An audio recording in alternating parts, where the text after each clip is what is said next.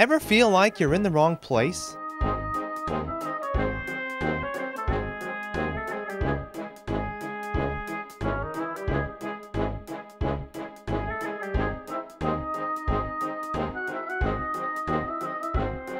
Ever feel like you're not properly prepared?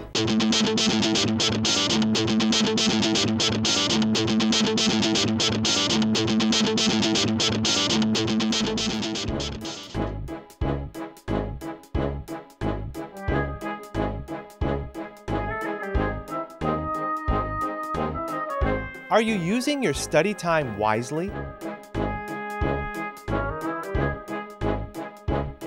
Yeah!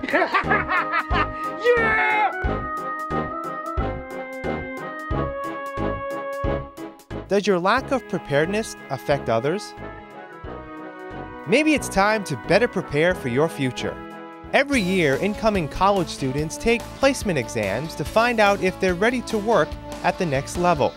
These tests determine whether a student needs to take remedial classes. Students who take remedial classes often spend more money, take more time to finish their studies, and 25% don't graduate at all.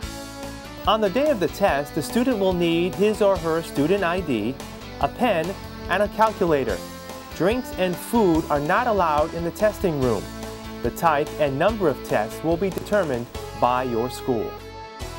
Students who have completed previous college-level coursework in English and or mathematics may be exempt from all or part of the placement testing. An official transcript should be submitted to the admissions office for evaluation prior to your scheduled exam.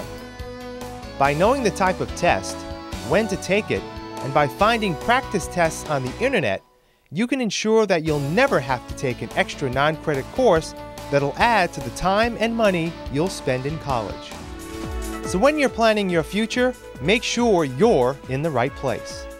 For questions on which test you should take, please ask your guidance counselor.